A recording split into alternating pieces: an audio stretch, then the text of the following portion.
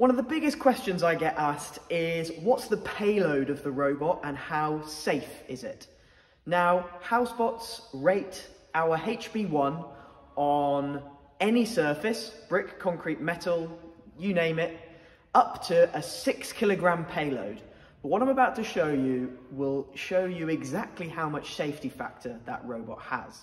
I'm going to be hanging five litres, so five kilogram weights off the robot. These are water with some food dye, so you can see that there's water in there, and you'll see just how secure that robot is.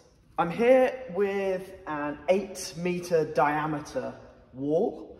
It's made from just regular mild steel, untreated, so the surface has not got very good friction on it.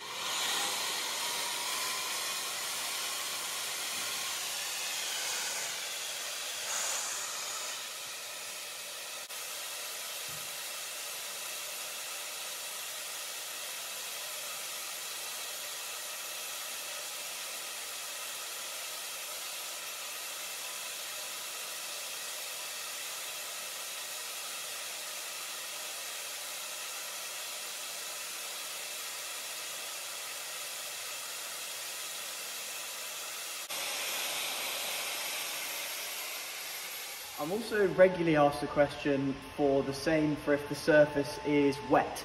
So I'm going to spray down the wall, I'm going to saturate it and repeat the test.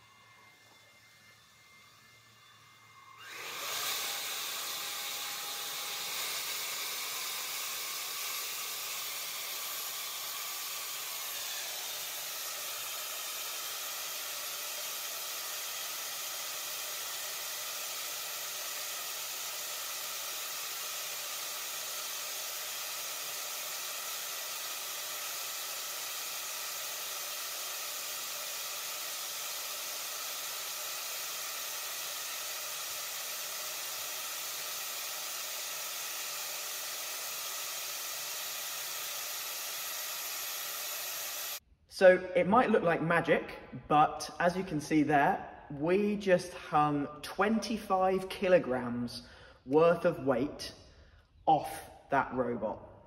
It's got a significant safety factor and can do that on any surface you need.